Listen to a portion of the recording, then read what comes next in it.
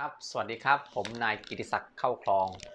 วันนี้เป็นวันที่ 28 เดือนมกราคม พศ 2564 ผมได้เอาพระสมเด็จพระคัง ที่หลวงปู่ยันโตพรมศรีเป็นผู้ปลุกเสกเป็นผู้สร้างนะครับ เป็นพระพิมพ์ ยอดขุนพลนะครับ เป็นพระพิมพ์ยอดขุนพลจะลงให้เผยแพร่ให้ทุกท่านได้ประดับรับชมได้เทียบเคียงนะครับ พระนี้เป็นพระสร้างในยุคกลางนะครับ ยุคกลางยุคกลางตอนปลายนะครับ ยุคกลางตอนปลาย เป็นพระเนื้อขาวอมเหลืองตะอมเหลืองนะครับ ขาวอมเหลืองกระกระด่างนะครับ ขาวอมเหลืองกระด่าง กระด่างครับกระด่างนี่มีทั้งกระด่างน้ำอ้อยเคี่ยวทั้งกระด่างน้ำมันต่างอิ้วนะครับนะครับ เดี๋ยวทุกท่านอลองชมนะครับ พระนี้ก็เป็นพระยอดคุณพรมมีมวลสารศักดิ์สิทธิ์หลายๆอย่างครับทั้ง9นะครับของท่านนะครับ เป็นพระที่มีพุทธคุณแรงนะครับศักดิ์สิทธิ์นะครับศักดิ์สิทธิ์มากนะครับอยากให้ทุกท่านได้ประดับรับชมรับฟังนะครับ นะครับนะครับ ท่านไหนมีบุญวาสนาก็ได้มาร่วมสร้างพิพิธภัณฑ์กับผมนะครับ เพราะผมสร้างเพื่อเผยแพร่ให้ท่านนะครับ แล้วก็สร้างการเป็นมาการสร้างเมืองปัจจคาม แล้วก็เผยแพร่ของเก่าโบราณนะครับ ให้เป็นศูนย์เรียนรู้ แล้วก็เป็นแหล่งที่ท่องเที่ยวใหม่ของ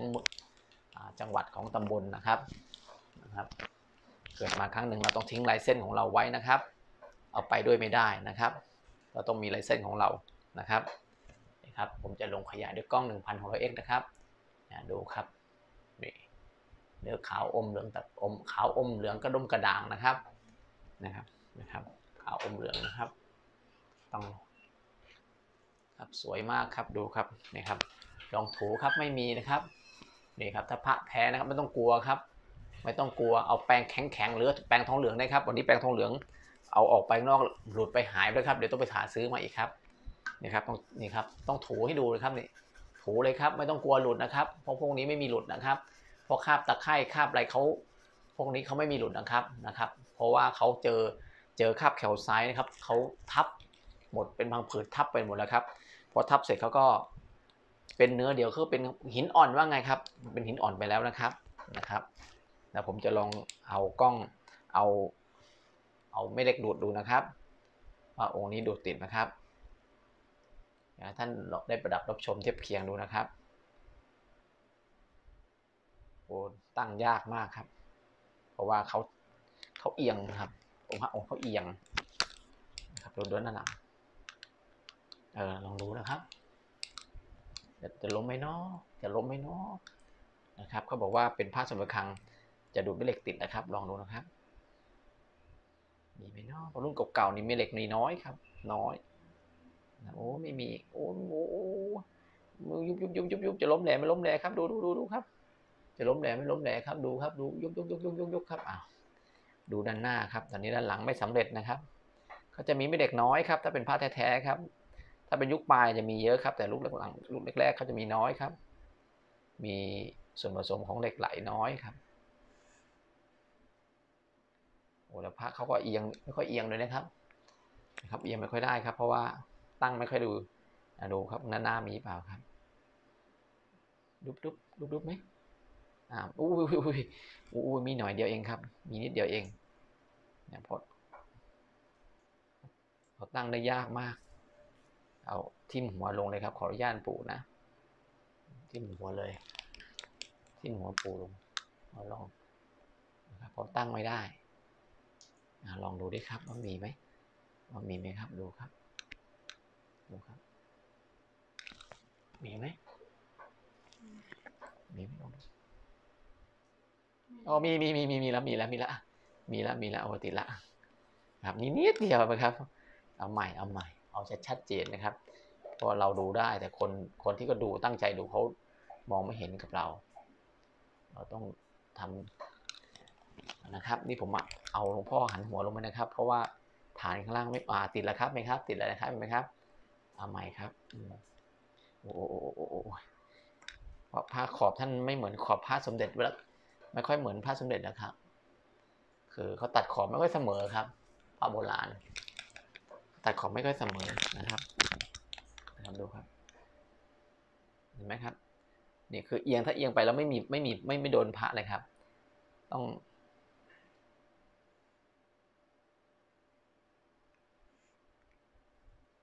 นะครับนี่ครับมาลองดูนะครับอ่าติดแล้วครับเห็นไหมครับ ติดแล้วคือได้จังหวะก็จะพอดีเลยครับ โอเคองค์นี้ดูดไม่เหล็กติดนะครับนะครับนะครับ ติดน้อยอ่อนมากครับ อ่อนมากครับ แล้วเราจะขยายด้วยกล้อง อันนี้ขยายด้วยกล้อง 1,000 1,000 x นะครับ อันนี้คือองค์ตรง 1,000 x นะครับของแท้นะครับ กล้องแท้นะครับ ต่อไปนี้เราขยายด้วยกล้อง 1,600 x นะครับเดี๋ยวจะลูดลงมานะครับ ให้ทุกท่านได้ชมนะครับ นี่ครับ อันนี้ลงมาเรื่อยครับ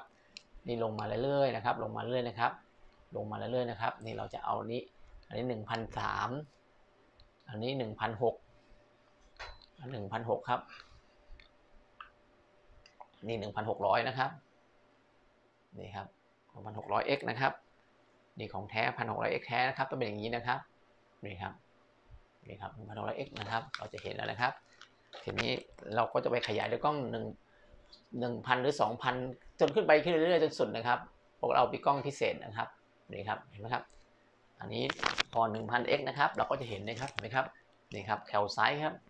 แคลไซด์มาอยู่ตรงเกาะแขนนี่คือแคลไซด์เป็นก้อนใหญ่ๆนี่ครับเนี่ยงอกขึ้นมาครับเนี่ยตั้งบางผืนนะครับ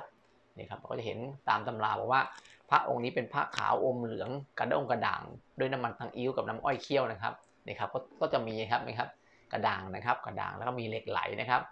มีเหล็กไหลนะครับ ดูครับแล้วมีมวลสารศักดิ์สิทธิ์ มีว่าน มีน้ำว่าน แล้วก็มีมีทั้งก้านะครับ แล้วก็มีมีเม็ดบัวนะครับ เม็ดบัวนะครับหรือพวกเนี้ยเกสรร้อยนี่พวกเกสรนะครับ ดูครับ นี่ครับ ทีนี้เราผมก็จะลงขยายด้วยกล้อง 1,600x ให้ดูนะครับ ว่าพระองค์นี้จะมีตามมวลสารหรือเปล่าครับนะครับมวลสารที่ที่บันทึกไว้นะครับ นี่ครับ ดูครับ ดูครับนี่เริ่มเห็นแล้วครับนี่คือคือพระพระสุมกอครับพระสุมกอนะครับ พระหักแตกพระกำแพงนะครับนี่คาบแผ่นไซส์คือทะลุออกมาจากรอยหลุมในบ่อนะครับเห็นไหมครับพวกนี้แคลไซด์นะครับก็จะทะลุออกมาครับนี่แคลไซด์ทะลุมานะครับนี่คือแคลไซด์นะครับ คือเขามีหลุมมีบ่อคืออมวลสารเขาหลุดออกไปครับแล้วก็แคลไซด์ก็สร้างตัวนะครับเนี่ยนี่แคลไซด์เขางอกขึ้นมานะครับ อันนี้พวกข้ามน้ำอ้อยน้ำอ้อยน้ำข้ามข้าวน้ำอ้อยข้ามน้ำมันตังอิ้วนะครับ พวกนี้ครับ นะครับ ต้องดูนะครับ ครับนี่ครับเด็กไหลผงไพดำนะครับนี่ครับเราต้องดูครับทีนี้เราจะลงขยายให้ดูนะครับนะครับ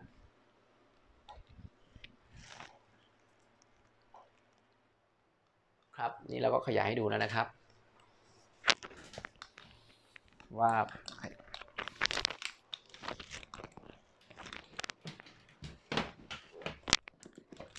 นะครับ ว่ามีอะไรบ้างนะครับ ในมวลสารตามตำราของหลวงปู่คำหรือเปล่าครับ ลองดูนะครับ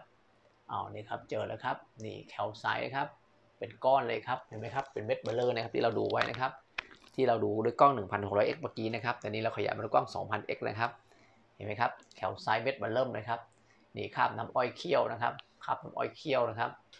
นะครับคราบน้ำอ้อยเคี่ยวเราจะเห็นครับเพราะจะเป็นกระด่างในตำราเขียนว่าขาวอมเหลืองกระด่าง ด้วยน้ำมันอ้อยเคี่ยวหรือน้ำมันตังอิ๊วนะครับนี่แหละครับ ที่บันทึกหลวงปู่คำที่บันทึกไว้นะครับ พระต้องอยู่ในตามบันทึกนะครับนะครับนี่ครับดูความเก่านะครับ พระเข้าหดจนย่อนะครับดูครับ อันนี้เป็นพิมพ์นะครับเป็นพิมพ์ยอดขุนพลนะครับนี่เหล็กไหลผงไฟดำนะครับนะครับดูครับนะครับดูความสวยของพระนะครับ นี่ครับเราลงขยายด้วยกล้อง 1,600x 2,000x นะครับนี่ครับดูความเก่าของพระนะครับนะครับดูความเงาเงาครับเหล็กไหลนะครับนะครับเดี๋ยวดูน้ำแคลไซด์นะครับคราบแคลไซด์รอยวิ่งแคลไซด์นะครับนี่ครับเขาสร้างตัวเป็นร่องมีสูงมีต่ำนะครับนี่ครับเนี่ยวิ่งมานี่ครับนะครับตามตำรานะครับ ดูตามตำราดูครับนี่ครับ ดูแคลไซด์นะครับนี่ดูแคลไซด์ขาวๆครับเห็นไหมครับนี่คือแคลไซด์ครับเป็นก้อนๆนี่ครับพวกนี้แคลแคลไซด์นะครับ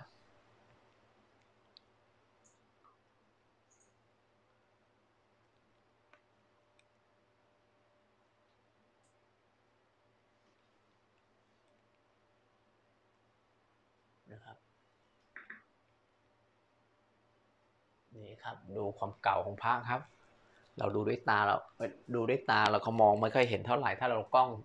กล้องดีๆนะครับ เราก็จะเห็นนะครับ เพราะอันนี้เราดูสำหรับคนที่จับพลังไม่เป็นจับลูกขุนไม่ได้คนที่ยังไม่มีกล้องตัวใหญ่ตัวโคสโคปนะครับ ก็คือต้องดูนะครับ ถ้าคนเขามีจับพุทธคุณได้แล้วเขาก็ไม่ต้องจำเป็นแล้วครับ เพราะคนสมัยโบราณโบราณเขาไม่มีกล้องไม่มีอะไรทุกอย่างครับ เขาจะจับพุทธคุณเอาครับ เราอย่าหลงกลนะครับ อย่าหลงนะครับ อย่าหลงพระที่เขาแขวนคอนะต้องมีพุทธคุณนะครับ ไม่ใช่มีความสวยนะครับเขาต้องมีพุทธคุณนะครับ เพื่อเอามาคุ้มครองเราให้ชีวิตเรามีความเจริญรุ่งเรืองแข็งคลาดปลอดภัย มีแฝน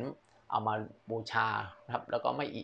ไม่นานตัวเราก็จะดีขึ้นนะครับนะครับ ไม่ใช่เอามาแขวนเพื่อสวยงามนะครับ มาเพื่อมาเป็นพุทธพาณิชย์นะครับ ไม่ใช่นะครับ พระมาแขวนเพื่อเป็นพุทธคุณนะครับนะครับ คุ้มครองปรักษานะครับ แล้วก็ได้เอา เอามาเพื่อระลึกถึงตัวองค์ของพระองค์สมมาสมเด็จสมมาสัมพุทธเจ้านะครับนะครับ แล้วก็นึกถึงบารมีของปู่โตที่ท่านได้สร้างนะครับ ไม่ใช่เอามาแขวนให้สวยงามไม่เฉยนะครับนะครับนี่ครับดูครับด้วยความสวยครับนี่ทำความเก่านะครับนี่ครับนี่พระหักแตกพระกำแพงนะครับเจอแคนไซทับนะครับนี่ครับเดี๋ยวเอาให้ดูนะครับเดี๋ยวขยายให้ดูนะครับ นี่ครับพระซุ้มกอเลยครับนี่ครับ มีแร่ดอกมะขามด้วยครับองนี่ครับเจอแคนไซต์ทับนะครับนี่ครับเจอแคลไซต์ทับนะครับนี่ครับ มีแร่ดอกมะขามด้วยครับนะครับนี่แคลขาวๆนี่แคลไซต์ทับหมดนะครับนี่แคลไซต์นะครับนี่แร่ดอกมะขามนะครับนี่ครับน้ำอ้อยเคี่ยวนะครับครับน้ำอ้อยเคี่ยวนะครับนี่ครับจะเห็นชัดๆนะครับ สวยมากครับ สวยจริง ๆ ครับโอ้ยดูความเก่าครับนี่ครับเนี่ยครับมีพระเขาหดย่อๆนะครับเห็นไหมครับดูครับมีความหดนะครับหดเข้าไปข้างในเลยครับเนี่ครับก็หดหมุนเข้าไปข้างในเลยครับนี่พระก็หดหมุนข้างในเลยครับนะครับเนี่ยพวกแคลไซต์เนี่ยเนี่ยแต่ถ้าเป็นเม็ดเนี่ยต้องอันตรายครับเป็นเม็ดเนี่ยคือเป็นคราบขี้เกลือนะครับมันถ้าปลอมอย่าเอาขี้เกลือจุ่มน้ำขี้เกลือครับให้เป็นคราบเป็นใสครับ ของแท้ต้องเป็นอย่างนี้ครับต้องเป็นอย่างนี้มีสูงมีต่ำมีเป็นชั้นๆนะครับนี่ครับ ต้องเป็นอย่างนี้นะครับ ต้องดูนะครับ เพราะว่าอะไรนี้ของเทคโนโลยีของทุกอย่างมนุษย์เราเป็นผู้มนุษย์เราเป็นผู้ทำลาย มนุษย์เราเป็นผู้ลอกเลียนแบบนะครับ ต้องก็คือเป็นธรรมชาติของมนุษย์อยู่แล้วนะครับ เพื่อความอดเพื่อความอยู่อยู่รอดนะครับ แต่ถ้าเราเป็นมนุษย์ที่มีจิตวิญญาณที่มีสติที่ดีนะครับ แล้วก็ก็จะมองของพวกนั้นออกนะครับ นะครับนะครับ เราต้องมีสตินะครับทุกบอกมีสติต้องเรียนรู้จากธรรมชาตินะครับ เราก็จะรู้ว่าธรรมชาติมันคนที่คนที่เขาเรียนรู้มาเขาเรียนจากธรรมชาตินั้นนะครับเรียนธรรมชาติ แล้วความธรรมชาตินั่นคือ จะสอนให้คนรู้นะครับ รู้ได้ทุกอย่างนะครับ เพราะทุกอย่างมันเกิดจากธรรมชาตินะครับ มนุษย์เรานะครับข้อมนุษย์เราเกิดมาเราก็ต้องเรียนจากธรรมชาตินั้นนะครับ มนุษย์เราเป็นผู้ ลอกเลียนแบบมนุษย์เราเป็นผู้ทำลาย แล้วมนุษย์เราเป็นผู้ที่ต้องเรียนรู้ไม่มีวันสิ้นสุดนะครับนะครับนี่ครับสวยครับดูครับดูครับ ดูความสวยครับดูธรรมชาติดูครับนี่แหละคือธรรมชาตินะครับ คือพระสมเด็จพระคังนะครับเป็นพระพิมพ์พิมพ์ยอดขุนพลนะครับ พิมพ์ยอดขุนพลนะครับยอดขุนพลนะครับ สวยครับ ดูครับ จะดูด้านหลังนะครับ ดูด้านหลังด้านหลังมีอะไรให้เราดูบ้างนะครับ ตามตามตำราหรือเปล่าครับคือตามตำราหลวงปู่คำนะครับ พระยอดขุนพลจะมีมวลสารทั้ง 9 นะครับปลุกเสกถึง 9 ครั้งนะครับ โอ้โห นี่ครับนี่คือ นี่คือแคลไซต์นะครับ เนี่ยแคลไซต์นะครับ ไม่ใช่แร่หินนะครับ แคลไซต์นะครับ เนี่ยแคลไซต์นะครับ นี่ครับ นี่ครับ แคลไซต์นะครับ จะได้รู้นะครับ ครับเพราะกล้องดีๆเขาจะรู้นะครับ ถ้ากล้องเล็กๆก็นึกว่าเป็นเป็นเป็นเป็นหินเป็นอะไรไม่ใช่นะครับ เป็นพวกเม็ดหินอะไรไม่ใช่ครับ คือนี่ครับ อันนี้คือพระสมกอนะครับ พระสมกอนะครับ พระสมกอนะครับนะครับ สวยครับโอ้นี่ครับนี่นี่นี่นี่นี่ครับดูครับ เม็ดนี้นะครับ คอยดูมันอะไรครับเดี๋ยวจะขยายดูครับนี่แคลไซด์ครับนี่แคลไซด์นะครับ นี่คือแคลไซด์ครับ นี่แคลไซต์ครับเห็นไหมครับ คือเป็นหลุมนะครับ แต่ข้างในเขาแคลไซต์เขาอยู่ด้านในเขางอกออกมาถึงงอกออกมาแล้วปิดรูนะครับนี่คือแคลไซต์นะครับนี่ภาคแสกกำแพงเห็นไหมเหล็กไหลนะครับนี่นี่ครับเศษพระหักแตกพระกำแพงนะครับนะครับ สวยครับ ดูครับ ดูความเก่าของพระครับนี่ครับ ดูความเก่า เราต้องดูความเก่าของพระให้ได้ครับ อันนี้เผยเพื่อต้องการให้รู้ท่านรู้นะครับ เพราะว่าพระนี่เขามีพุทธคุณอยู่แล้วครับจับพุทธคุณนี่แรงมากครับนี่ครับดูครับถือถือคนที่ดูไม่เป็นก็ต้องดูแคลไซต์ดูความเก่านะครับ ความเก่าแล้วก็ดูพระเขาตัวเป็นหินเป็นแกร่งเป็นหินนะครับนะครับ ไม่ใช่ไม่ใช่เปาะๆนะครับนะครับนี่แล้วก็มีเม็ดทองครับนี่ทองคำนะครับนี่ครับ เดี๋ยวขยายทองคำให้ดูครับ เห็นไหมครับ เห็นยังครับ ดูทองคำครับเนี่ยทองคำแวบนะครับ แวบนะครับ แวบนะครับ เห็นไหมครับ แวบอยู่ในรูนะครับนี่นี่ครับ แวบนี่นี่ครับ นี่เม็ดทองคำนะครับ บริสุทธิ์มากครับนี่ครับ ทองคำบริสุทธิ์มากครับอยู่ในรูครับแวบแวบแวบนี่ครับนะครับแวบนะครับนี่ครับทองคำบริสุทธิ์นะครับ เดี๋ยวขยายแรงๆเลยครับนี่เอา เอาสามพันเลยครับเนี่ยสามพันห้าพันเลยครับเนี่ยนี่ครับมาตรฐานนะครับนี่ปื๊ดนี่ทองคำนะครับ ทองคำบริสุทธิ์นะครับเห็นไหมครับเนี่ยทองคำบริสุทธิ์เม็ดเท่ากับปลายนิ้วปลายปลายปลายเข็มนะครับ แต่กล้องผมขยายถึงไม่รู้ไม่ไม่จะพูดนะครับ คือพูดไปเดี๋ยวไม่เชื่อนะครับ ว่าได้เท่าไหร่นะครับดูครับดูครับดูครับ ดูคือความนี่ครับความความสวยของของทองคำนะครับนะครับ สวยไหมครับ นี่คือทองคำแท้ๆต้องเป็นอย่างนี้นะครับ ต้องสวยบริสุทธิ์อย่างนี้ครับ ทองคำนะครับนะครับ น้ำจะสวย ทองคำบริสุทธิ์น้ำจะสวยอย่างนี้ครับเนี่ยดูครับ เล่นแสงอย่างนี้นะครับนี่คือเขาจะเล่นแสงอย่างนี้ครับ ทองคำบริสุทธิ์ครับคือเป็นมวลสารที่ศักดิ์สิทธิ์นะครับนะครับ สวยไหมครับเนี่ยแหละครับ ทองคำบริสุทธิ์นะครับ คือเราจะบอกว่าขยายขยาย คือท่านไม่เห็นเดี๋ยวหาว่ากล้องอะไรมาขยายได้ขนาดนั้น คือกล้องนี้ผมใช้กล้องอย่างดีนะครับ อย่างดีเลยครับนี่ผมปล่อยออกแล้วครับ นะครับปล่อยออกขนาดนี้ครับ ขนาดปล่อยออกยังชัดเจนเลยนะครับ เห็นไหมครับดูเอาเอาในรูนะครับ คาบรูนะครับเนี่ยรูครับนี่ครับพระแท้ต้องเป็นแคลไซต์อย่างนี้นะครับนะครับ เอาดูนะครับเนี่ยคาบที่มันที่มวลสารที่พระเขาหดย่นย่อแล้วมวลสารเขาอยู่อยู่อยู่นอกผิวเขาก็หลุดออกไปครับนี่ครับแล้วเราจะให้ดูแคลไซต์นะครับเนี่ยแคลไซต์นะครับ ว่าแคลไซต์เขาสร้างตัวแบบไหนครับนี่ครับเห็นไหมครับเห็นไหมครับ นี่แคลไซต์นะครับเนี่ยถ้าเราไม่มีกล้องนี้เราก็จะไม่เห็นนะครับดูครับ เราก็จะไม่เห็นนะครับดูครับ นี่ครับธรรมชาตินะครับนี่ครับนี่ครับ เราก็จะไม่เห็นเราก็เห็นขอบนะครับ นี่ขอบนะครับ นี่คือขอบขอบที่มันเป็นหลุมเป็นบ่อนะครับในขอบนี่ครับ เป็นขอบนะครับนี่ครับ ธรรมชาติของของธรรมชาติของพระสมเด็จพระคัง แล้วก็แล้วเขาต้องงอกตั้งแต่ด้านในออกมาด้านนอกนะครับนะครับแคลไซต์ต้องงอกจากด้านในออกมาด้านนอกคอยดูนะครับ นี่ครับเห็นไหมครับเห็นไหมครับแคลไซต์ไหมครับเห็นครับเป็นชั้นๆเล็กๆมันเป็นๆๆนะครับเห็นไหมครับขยายขึ้นมาให้อีกนะครับจะได้ชัดๆนะครับเอานะครับเห็นไหมครับเห็นไหมครับแล้วก็ท่านจะเห็นข้างในครับในครับเป็นเม็ดๆเห็นไหมครับเขางอกตัวขึ้นมาครับ งอกงอกสร้างบางผืนงอกขึ้นมาเรื่อยๆครับเห็นไหมครับอยู่ด้านในครับเห็นไหมครับนั่นคือนั่นแหละครับเม็ดใสๆนะครับมีเขียวไม่เขียวอะไรนะครับนี่ครับ มีเม็ดสีฟ้าสีแล้วข้างในเห็นไหมครับเล็กๆนี่ครับนี่นี่ครับ นี่ครับเห็นไหมครับนี่นี่จะขยายให้ดูครับนี่ครับดูครับทางนั้นเลยครับเนี่ยนี่ครับเนี่ยให้ทุกท่านได้ดูครับว่ามันเป็นอย่างนี้นะครับแคลไซด์นะครับจะเป็นเม็ดๆอย่างนี้ครับเขาก่อตัวขึ้นมาเรื่อยๆอย่างนี้นะครับ แล้วก็จะปิดรูนะครับเนี่ยครับเขาก็จะปิดรูนะครับเห็นไหมครับธรรมชาติครับเขางอกขึ้นมาเรื่อยๆครับนะครับ นี่แหละครับคือแคลไซด์นะครับเห็นไหมครับเห็นไหมครับ เขาคล้ายๆหิมะนะครับคล้ายๆหิมะนะครับนะครับบางองค์ก็เป็นเส้นนะครับมันนะครับดูครับนี่ครับไหมครับนะครับคือแคลไซด์นะครับ คือของลอกแบบมันทำไม่ได้นะครับ เพราะพวกนั้นมันเขาใช้แล้วก็เขาจะทำแบบนี้ไม่ได้ครับ คืออายุไม่ถึงก็มันก็ขึ้นไม่ไม่ได้อย่างนี้นะครับเนี่ยขึ้นไม่ได้อย่างนี้นะครับ คือธรรมชาติทุกอย่างต้องเป็นธรรมชาติหมดนะครับ เอาครับนี่แหละครับ นี่คือพระสมเด็จพระคังพิมพ์พิมพ์พิมพ์พิมพ์ยอดขุนพลนะครับ ที่เขานิยมกันว่าองค์ละอะไรห้าสิบล้านเจ็ดสิบล้านอะไรพวกนี้ครับนะครับเนี่ยทองคำครับเนี่ยทองคำคือของผมนี่ก็สามแสนนะครับ สร้างพิพิธภัณฑ์ครับต้องต้องการสิบล้านนะครับ สร้างพิพิธภัณฑ์ตอนนี้องค์ละสามแสนองค์ละแสนนะครับ ไม่มีเยอะนะครับ มีน้อยนะครับ เพื่อต้องการให้สำหรับคนมีบุญวาสนาเท่านั้นนะครับนะครับ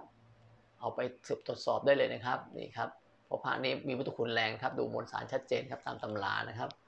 นี่ครับดูครับนี่ครับนี่ครับแร่โรเดียมนะครับนี่แร่โรเดียมนะครับนะครับแร่โรเดียมนะครับขาวๆครับนี่แร่โรเดียมทองนะครับเนี่ยจะออกขาวๆตรงทองครับนี่ครับนะครับผงพุทธคุณทั้งห้าพวกนี้พวกนี้แคลไซต์นั่นเลยครับขาวๆพวกนี้แคลไซต์หมดเลยนะครับ นี่เยอะครับ เยอะมากครับ ครับสวยครับโอ้นี่นี่เด็กอันนี้คืออะไรครับเนี่ยดูไหมครับนี่คืออะไรครับดูยังครับนี่คืออะไรครับ อันนี้ผ้าหักแตกผ้ากำแพงผ้าซุ้มกอครับ มีอ่าผ้าหักแตกผ้าซุ้มกอนี่ครับคือมีมีแร่ดอกมะขามด้วยครับเนี่ยออกสีอย่างนี้แร่ดอกมะขามนะครับ สวยมากครับมีช็อกเหลืองนะครับ ช็อกเหลืองนี่เหล็กไหลผงไผ่ดำนะครับนี่สายทองนะครับเนี่ยนี่เหล็กไหลครับเห็นไหมครับโอ้สวยครับโอ้นี่นี่นี่นี่ครับขอดูด้วยครับนี่สวยนี่ครับ นี่ก็สวยครับเนี่ยโอ้นี่ครับดูนี่ครับขึ้นมาไงครับขอดูนะครับนี่หลุมเลยนะครับ หลุมดูด้านในครับนี่นี่แหละครับแคลไซต์เห็นชัดๆนี่เรียนรู้อย่างนี้ครับเห็นไหมครับ ข้างในครับเดี๋ยวเราจะเห็นแขนซ้ายนะครับนี่เห็นไหมครับเห็นไหมครับนี่ครับรู นี่คือหลุมนะครับ นี่คือหลุมนะครับ หลุม นี่เป็นหลุมนะครับ เนี่ยหลุมหลุมนะครับ หลุมหลุมบ่อใหญ่นะครับ แต่ข้างในขาวๆพวกนี้จะมีครับ มีคราบน้ำดินศักดิ์สิทธิ์น้ำศักดิ์สิทธิ์นะครับแคลไซต์นะครับ คอยดูนะครับ คอยดูนะครับ นี่ครับเห็นไหมครับ เห็นไหมครับ เราจะเห็นข้างในครับนี่ครับนี่คือต้องเป็นเห็นชัดเจนอย่างนี้นะครับ ต้องชัดเจนอย่างนี้นะครับ เห็นไหมครับเป็นเม็ดเม็ดเม็ดเม็ดเล็กๆครับ นี่แหละครับ ต้องชัดเจนอย่างนี้นะครับ เห็นไหมครับ เห็นไหมครับ ต้องชัดเจนอย่างนี้นะครับ นี่คือแคลไซต์ ถ้าบางคนยังดูแคลไซต์ไม่เป็นนะครับ